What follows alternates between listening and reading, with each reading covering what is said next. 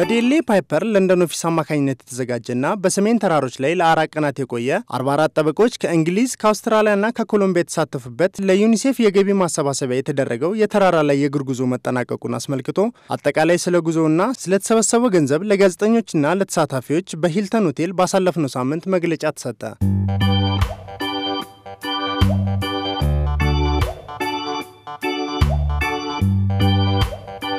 በዚህ ፕሮግራም ላይ በለንደን የዴሌ ፓይፐር ኮርፖሬት ዳይሬክተር የሆኑት ጆን ሄንስ እና የዴሌ ፓይፐር አፍሪካ አባል የሆኑት አቶ ምህረተአብ የመክፈቻ ንግግር አድርገዋል። This evening, I have the privilege of saying a few words on behalf of the 43 colleagues from around the world with whom I've been trekking in your beautiful Simeon Mountains, and also to say a few words on behalf of DLA Piper globally. First, I'd like to say how special we have all found our time in Ethiopia. It is clearly a very exciting, positive, and energetic country. Everyone we've met has been incredibly friendly, there's been tremendous warmth and a great enthusiasm for our visit. And I'm sure I'm not the only one who plans to come back, so be warned. And of course, the Simien Mountains have inspired us.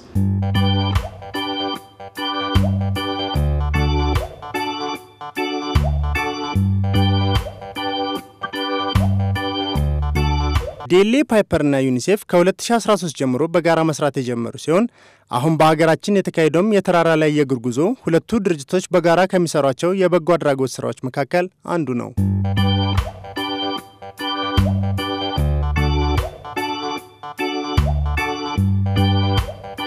ይህ ለዩኒሴፍ ፕሮግራሞች ማስፈጸሚያ የሚውለው የገቢ ማሰባሰቢያ ፕሮግራም በሀገራችን ላይ መካሄዱ ያለውን ጠቀሜታ የዲኤልኤ ፓይፐር African group የጠበቆች ኔትወርክ አባል የሆኑት አቶ ምህረተአብ ልዑል ኮከብ እንደሚከተለው ይገልጹታል። ይህ event አገራችን ላይ መካሄዱ ትልቁ ጠቀሜታ ምንድን ነው? የሀገራችንን ገጽታ ማስተዋወቅ ችለናል። ዛሬ 44 ጠበቆች ከእንግሊዝ ሀገር ከአውስትሬሊያና ኮሎምቢያ መጥተው 99 በመቶ የመጀመሪያ ጊዜያቸው ነው እዚህ ሀገር ሲመጡ ሰሜን mountain ላይ አራት ቀን mountain trekking ይሉታል።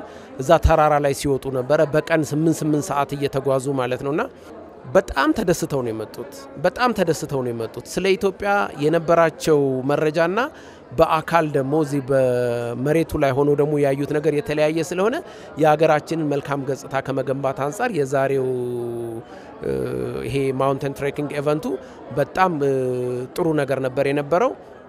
በተጨማሪ ደግሞ እኛ እኔን ጨምሮ we are business lawyers የምንሰራው ለ investor ኦች፣ ለሀብታሞች፣ ለኩባንያዎች፣ ለ corporations ነው የምንሰራው።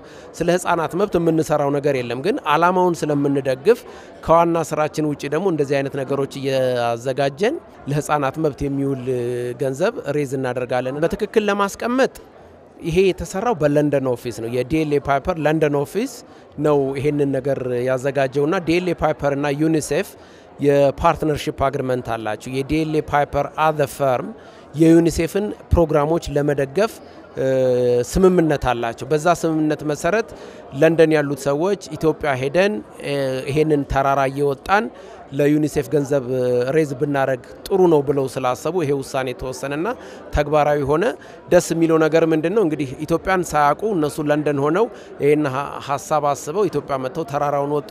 ዛሬ ሁሉንም ብትጠይቋቸው በጣም ተደስተው የመጡበትንም ዓላማ አሳክተው 250 ሺህ የአሜሪካ ዶላር ሬዝ አድርገዋልና በዚህ ሁኔታ በጣም የተሳካ ጊዜ አሳልፈው እየሄዱ ነውና ሁኔታው ይሄን ይመስላል። በዚህ የተራራ ላይ የእግር ጉዞ ተሳታፊ የነበረችው ኤማ ፓፍሎ ስለ እግር ጉዞ ፈታኝነትና ስላጋጠማት ነገር እንደሚከተለው ነግራናለች። Um,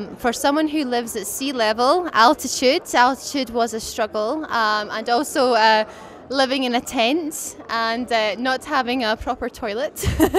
um, but yes, certainly walking for a long period of time and the altitude. We're living in Scotland, you live at sea level, and you're you're not used to that, so that was definitely a challenge. I remember the Gelada baboon. On our last day, the Gelada baboons came into our camp uh, as we were packing up our tents and uh, they were very close. They were where the cameraman is now. Um, that's how close they were to us, and we tried to take their picture on our cameras. And they started to walk towards us, and we ran very fast because we thought they were going to going to attack us, but they weren't. So definitely the Gelada baboon, the uh, Simeon mountain fox, and the Wallada ibex.